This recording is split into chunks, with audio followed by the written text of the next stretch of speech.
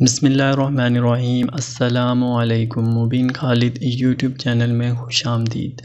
दोस्तों, आज मैं आपको एक ऐसे ऐप के बारे में इंफॉर्मेशन देने वाला हूँ, जिस ऐप की मदद से आप अपनी डिलीट शुदा फ़ोटोज़ को रिकवर कर सकते हैं और इसके साथ साथ आप अपनी डिलीट शुदा वीडियोस वगैरह भी रिकवर कर सकते हैं। वो भी बहुत ही आसान तरीके से, बिना किसी पैसे ख़र्च किए।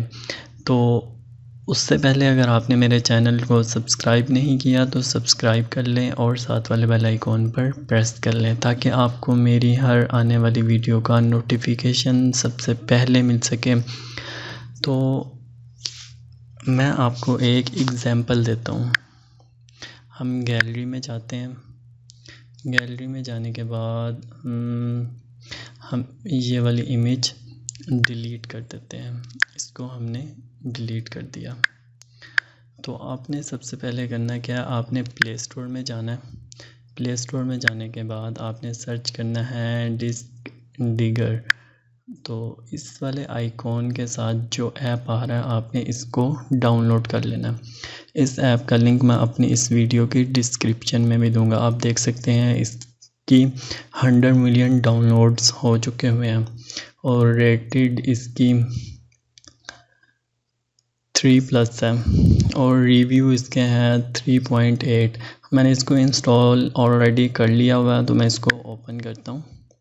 ओपन करने के बाद आप देख सकते हैं टॉप पे स्टार्ट बेसिक फ़ोटो स्कैन तो मैं इस पर क्लिक करता हूँ। क्लिक करने के बाद आप टॉप पे देख सकते हैं कि जो दो फ़ोटोज़ आ रही हैं, इसमें से जो फ़र्स्ट वाली है, ये तो मैंने ऑलरेडी डिलीट अभी अभी की है और जो सेकंड पे है, ये मैंने पहले डिलीट की थी। तो वो ऑटोमेटिकली मेरी फ़ोटोज़ यहाँ पर आ रही हैं। तो बहुत ही कमाल का सॉफ्टवेयर है, जो भी आपको फ़ोटोज़ चाहिए, उस पर आप क्लिक करें। हम थ्री डॉट्स पे क्लिक करते हैं। क्लिक करने के बाद रिकवर दिस फ़ाइल करते हैं। तो आप यहाँ पे देख सकते हैं, अगर आपने व्हाट्सएप में सेव करनी है व्हाट्सएप पे कर सकते हैं।